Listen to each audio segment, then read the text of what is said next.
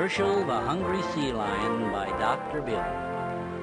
Near Bellingham City in Chuckanut Bay, swam hungry Herschel Sea Lion day after day.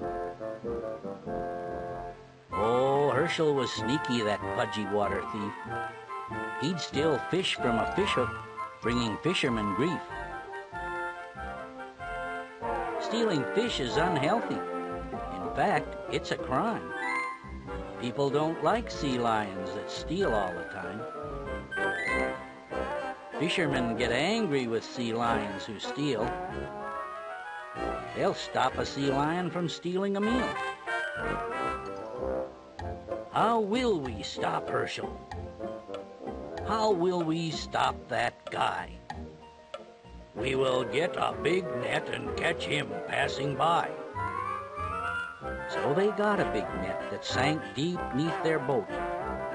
They can't catch sea lions with a net that will float. The big net was in place. It hung blocking the sea. Herschel headed toward it while the men watched with glee.